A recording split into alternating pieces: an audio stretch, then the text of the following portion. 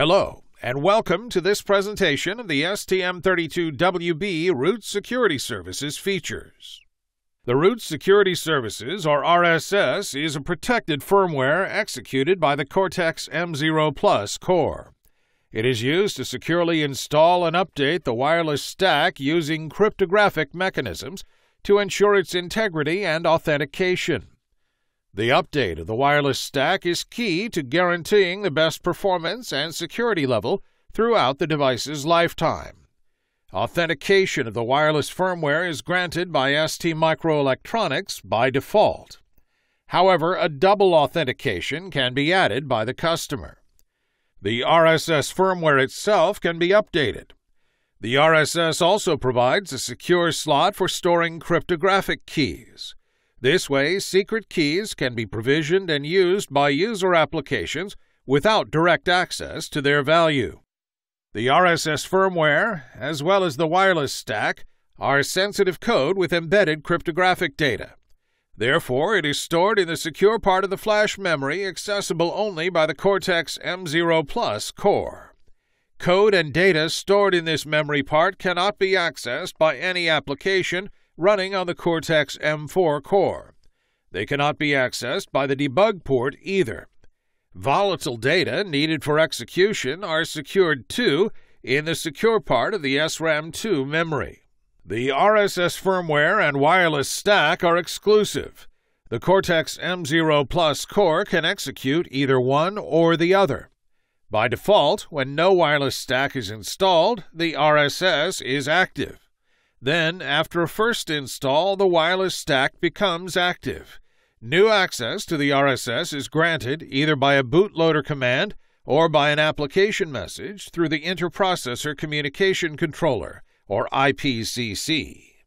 The wireless stack can be updated in one of two ways, depending on the availability of a physical or wired link on the device. A direct access through a physical link for using the bootloader allows you to perform the first install of the wireless stack. Afterwards, the stack can be updated by first removing the current stack and hence reducing the amount of memory needed for the operation. There is only enough space for one stack in the flash memory. The STM32 Cube Programmer tool can be used to directly access the bootloader and dedicated commands. The second way for updating the wireless stack is to do it over the air, or OTA. This requires the use of the current wireless stack for downloading the new one. It means that an extra flash memory area must be available for the update.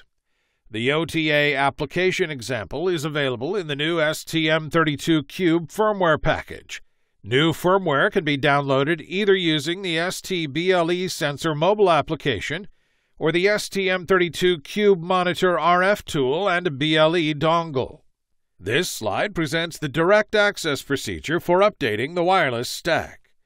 The procedure is automatically performed by the RSS firmware once the update command has been sent by the bootloader. First, the current wireless stack is removed. Then the encrypted and signed new wireless stack is downloaded in the flash memory. Sensitive operations of decryption, integrity, and authentication checks are done by RSS firmware inside the protected flash memory area. In the last step of the procedure, option bytes related to the wireless execution configuration are set with the proper values. At the end of the procedure, the wireless stack becomes active. This slide presents the over the air procedure for updating the wireless stack. This procedure requires a wireless application from the user side able to provide a download service to a remote client. On request from this client, the user application downloads the new wireless stack to the device's flash memory. Then it sends a message to the RSS to start the update procedure.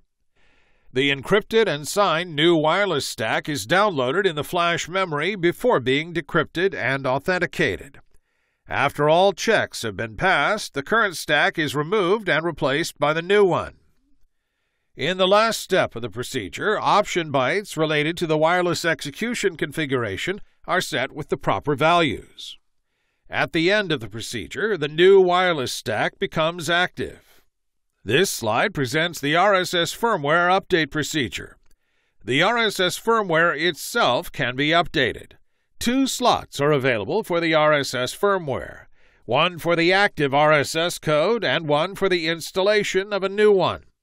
The new encrypted and signed RSS firmware is downloaded either via a wired connection or over the air. Once decrypted and authenticated, the new RSS is active. Then the old one is removed and its slot becomes free for a future update. The wireless stack is developed, encrypted, and signed by ST. Its encryption is ensured by the AES algorithm, and its signature relies on an elliptical curve algorithm. A second authentication level can be added by the customer.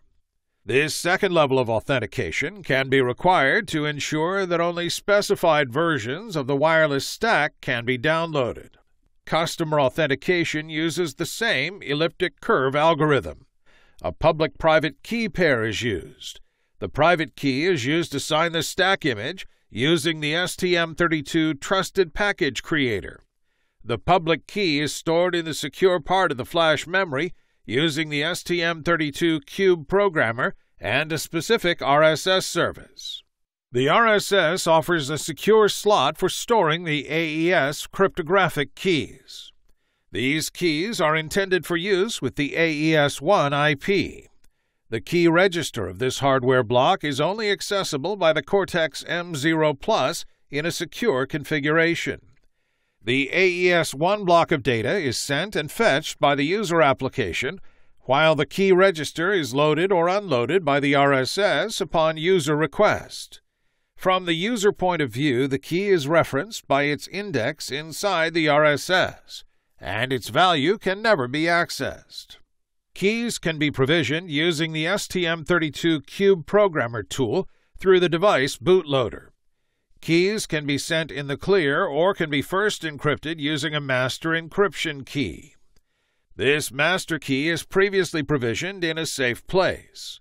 All root secure services, including provisioning, are available at application runtime. Four services are available to the user application for key management. Write service for storing additional keys, load service for AES1 key register programming, unload service for cleaning the AES1 key register after application completion, lock service to prevent any reuse by another process of a given key until the next reset. This service can be used in a user secure boot application, for example. In addition to this training, you may find the flash memory interface and system configuration trainings useful.